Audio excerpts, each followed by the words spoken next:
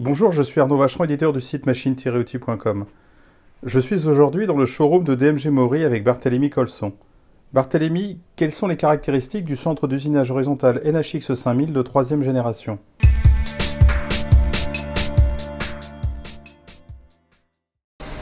Bonjour, nous vous présentons aujourd'hui le NHX 5000 troisième génération de DMG Mori. C'est un centre d'usinage horizontal 4 axes palettisé avec une table de 500 par 500. Les courses sont de 730 en X, 730 en Y et 880 en Z. L'axe B est un axe continu à 360 000 positions.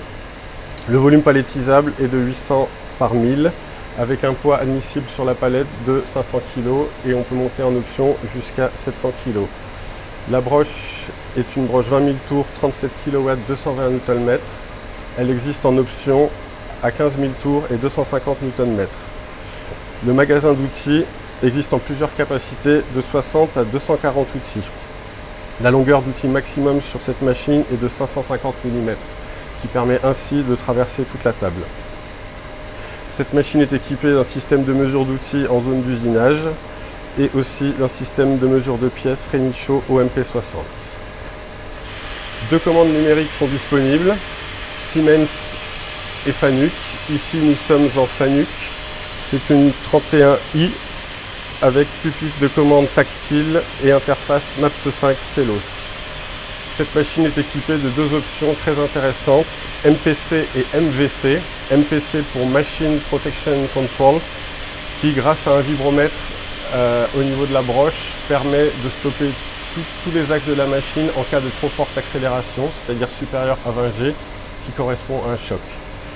Et grâce à ce vibromètre aussi, nous avons l'option MVC, Machine Vibration Control, qui permet d'adapter les conditions de coupe pour limiter les vibrations.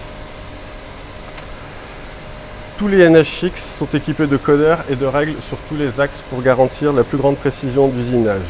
Cette machine en plus est équipée de l'option FANUC AICC2 qui permet la lecture anticipée de 1000 blocs à l'avance. Ça permet ainsi d'usiner des pièces en 3D comme des moules. Pour finir, plusieurs systèmes de palettisation sont disponibles sur cette machine.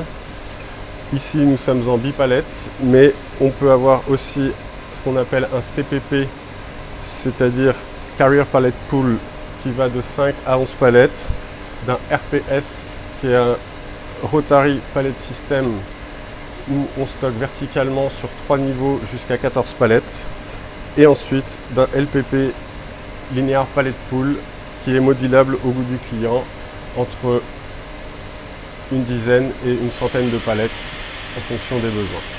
Retrouvez nos actualités quotidiennes sur les machines-outils, logiciels, outillages et services sur le site internet du répertoire de la machine-outil, machine-outil.com, tout au singulier, et n'hésitez pas à me contacter sur LinkedIn.